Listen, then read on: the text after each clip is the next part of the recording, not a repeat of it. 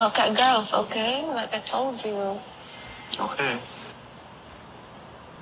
I'm just like not understanding what's going on, and I'm trying to fill in the boredness. But if I even turn my head, she doesn't like it, and that's that's up.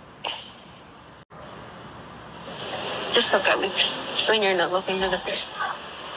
Berasal sa santos ng Evangelyo sa Otis Lutas. Here we are again with Mary getting insecure and jealous, even though we've talked a lot about how that won't happen anymore.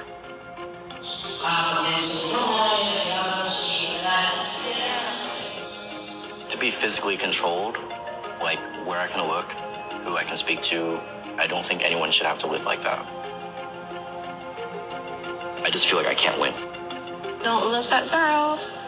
I know. It can't be like this. Behave. I mean, guys, let's get straight into it.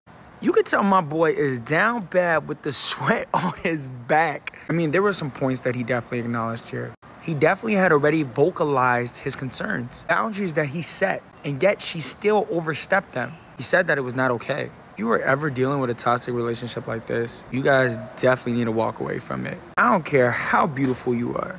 Relationships like this, when not talked about correctly, can be a continuously disrespected relationship. You're at church. What more can you look at besides the priest? She won't even let him look at Jesus. At the end of the day, she's reflecting her insecurities on the significant other. In no way is this a healthy relationship, nor is it okay to treat your significant other like this. I mean, honestly, guys, what's your thoughts about this?